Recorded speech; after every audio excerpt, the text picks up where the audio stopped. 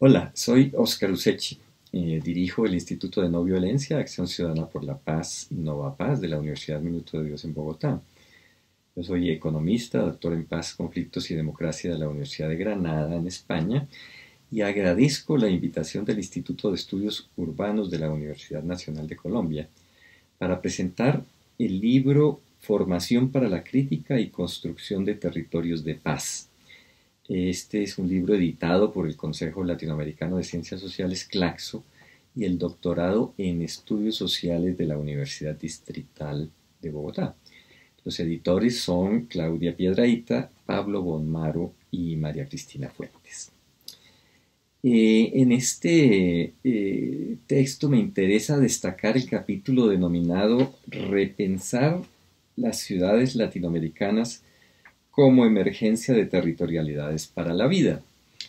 Este es producto de un estudio sobre violencia y paz en Bogotá que hemos adelantado con la profesora eh, Clara Inés Pérez. Ella es investigadora de la maestría en investigación social interdisciplinaria y también eh, es eh, profesora de la maestría en paz, desarrollo y ciudadanía de Uniminuto. Este libro está, ese estudio está especialmente centrado en los territorios de los jóvenes en las ciudades, en la urbe. En el texto planteamos las líneas de abordaje de dos problemas principales que están relacionados con la construcción de nuestras ciudades, en este caso eh, alrededor del estudio de la capital colombiana. Me refiero en primer término a la pregunta de por cómo se construyen los territorios urbanos, es decir, cómo emergen esos espacios en los contextos de América Latina y segundo, eh, cuál es el papel de la violencia en el delineamiento de, este, de estos eh, procesos de las urbes. Por supuesto, mm, también dejamos abierto el interrogante de si hay posibilidad de emergencias territoriales urbanas que se produzcan alrededor de otras maneras del encuentro humano, de relaciones pacíficas no violentas productoras de sociedad que se replanteen los modos de vida, los vínculos con todo lo vivo y que reconozcan los bienes comunes como aglutinante para reordenar la, la convivencia. Esa es la preocupación de estas investigaciones.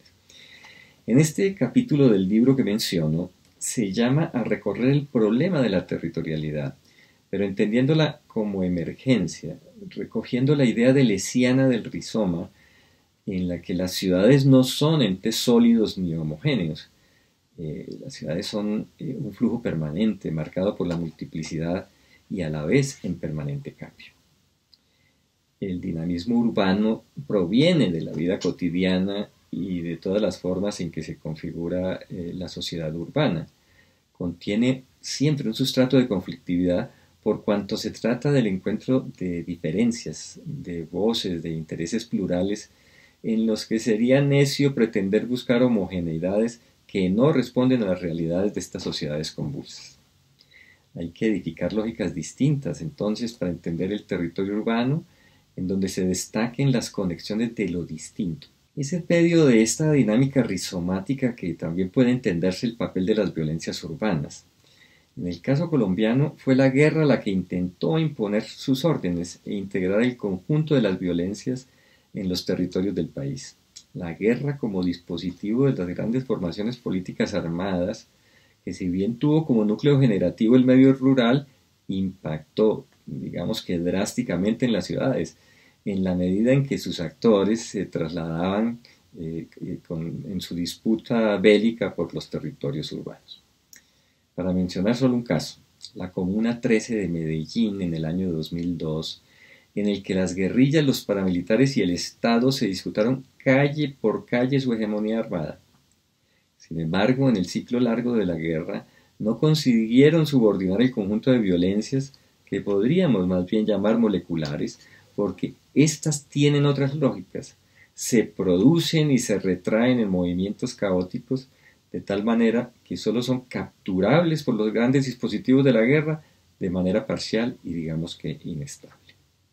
Se incrustan esas, esas eh, nuevas violencias esas violencias moleculares en la rebeldía, eh, por las condiciones miserables de vida, por ejemplo, o se instauran como ilegalismos o desobediencias subterráneas al orden jurídico o a la acción de la policía. En todo caso, persisten, aparecen y reaparecen aquí y allá, alimentando el miedo y la crispación en las poblaciones. Sobre esta confluencia de anomalías, el Estado procura desplegar sus políticas y aparatos de seguridad. La paranoia y el nerviosismo ciudadano alojan subjetividades que el Estado intenta canalizar mediante sus mecanismos institucionales o sus políticas de estado de excepción, pero nunca lo consiguen plenamente. Siempre hay un excedente de lo incontrolable.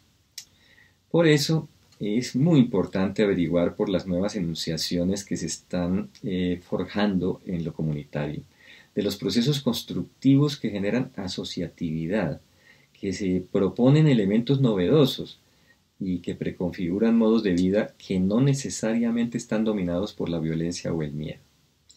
Los invito entonces a leer este libro que deja abiertas varias preguntas de investigación muy importantes para la configuración de los territorios urbanos. Muchas gracias.